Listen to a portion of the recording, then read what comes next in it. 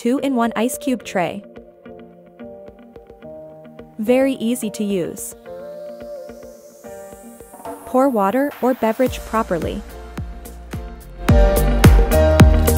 Pinch the body tightly then squeeze the excess air out and tighten the lid then put in the refrigerator for a couple of hours until freeze-in.